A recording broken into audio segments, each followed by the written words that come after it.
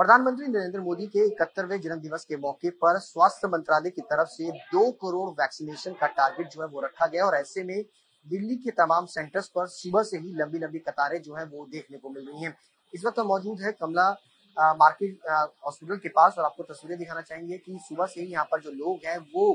काफ़ी बड़ी तादाद में वैक्सीनेशन लगवाने के लिए पहुँच रहे हैं। लंबी लंबी कतारें जो है वो अस्पताल के अंदर जो है वो देखने को मिल रही हैं और यही वजह है कि जिसके कारण जो अस्पताल प्रशासन है, उनकी तरफ़ से भी जो है वो टारगेट जो है वो रखे गए हैं। अमूमन इस अस्पताल में रोज़ाना 100 से 120 के आसपास वैक्सीनेशन जो है वो लगाया जाता है, लेकिन आज अस्पताल की तरफ़ से यहाँ पर 200 लोगों को वैक्सीनेशन लगाने का लक्ष्य जो है वो रखा गया है, और यही वजह है कि लोग यहाँ पर वैक्सीनेशन लगाने के लिए पहुँच रहे हैं। तस्वीरें आपको दिखाना चाहेंगे वैक्सीनेशन सेंटर्स की, जहाँ पर लोग वैक्सीनेशन जो है उनको लगाया जा रहा है, और प्रधानमंत्री के जन्म दिवस के मौके पर ये लक्ष्य स्वास्थ्य मंत्रालय की तरफ़ से रखा गया है, ताकि लोग ज़्यादा से ज़्यादा वैक्सीनेशन के लिए आगे आए और अगर कोरोना से जंग जीतनी है तो उसके लिए वैक्सीनेशन ही एकमात्र उपाय है। यही वजह है कि लोग आज लगातार अस्पताल पहुँच रहे हैं, वैक्सीनेशन लगवा रहे हैं। स्कूलों के अंदर लंबी लंबी कतारें जो है, वो देखने को मिल रही हैं। और पिछले जितने भी टारगेट्स हैं, जो कि अगर कहा जाए कि पिछले